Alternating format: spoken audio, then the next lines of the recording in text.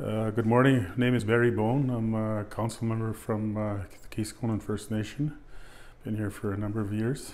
I guess I would just like to to discuss and and, uh, and look further on the, the languages. When, when, we talk about uh, languages within the First Nations, we, we talk about ownership, taking ownership of our our our culture, of our languages. When when we see the, the, the focus today that is happening is the language is coming back into the schools. Everybody's utilizing language and culture as the base and the base foundation for getting back to the the uh, the languages.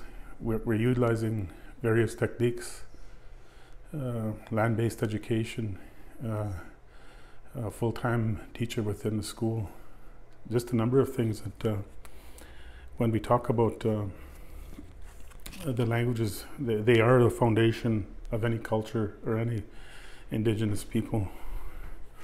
Uh, nowadays, they, they have the various ways that they that they they implement the programs. It could be using technology, being innovative is, is another way of of how they uh, achieve the achieve the end result.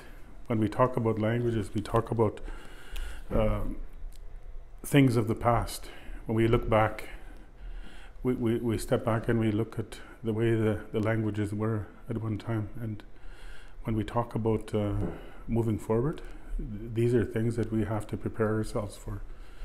Uh, last year, which was 2019, was the, the year of the, the, the indigenous languages.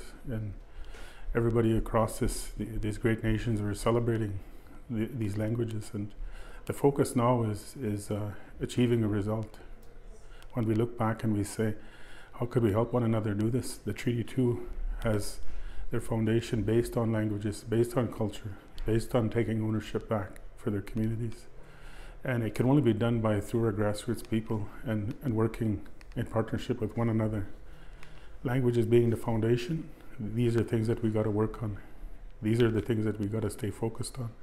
The leaders of today are thinking about tomorrow on how we could help one another in regards to being successful.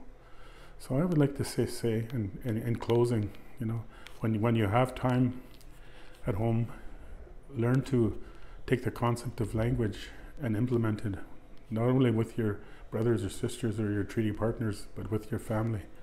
They're the ones that are, are going to be prepared for tomorrow. And we look forward to working with them. So in closing, I would just like to say from Keeseekoowenin, Miigwech, and, and a Happy New Year to all. Thank you.